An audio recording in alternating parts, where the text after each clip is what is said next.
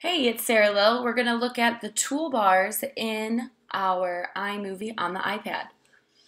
As you can see, I have some pictures in here.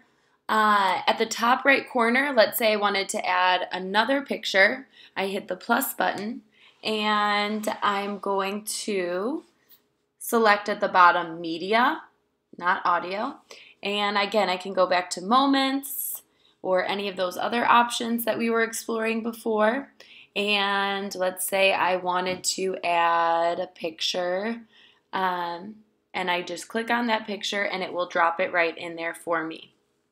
It's at this selected time, so if I want to change it, I will show you how to do that in just a little bit.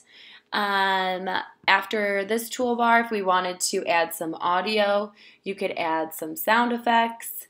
Uh, you can add recordings. So if you recorded somewhere, you could um, add that recording in here again. Um, if you have iTunes linked up, then you could add things from your iTunes.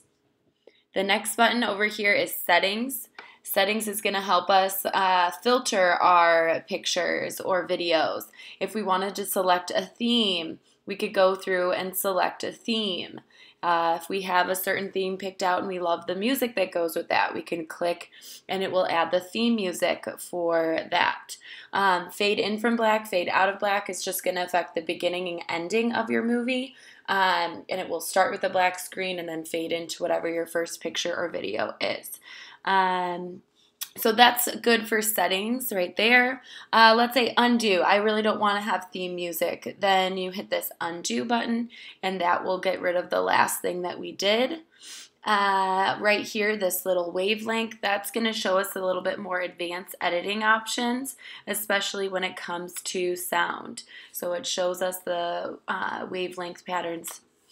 Over here we have camera, so we can click on that and um, add a picture if we'd like to take it in real time, or we can add, um, excuse me, a recording uh, if we wanted to, you know, say welcome to the iMovie or uh, explain a topic, then that's a great place for you to hit on that recording.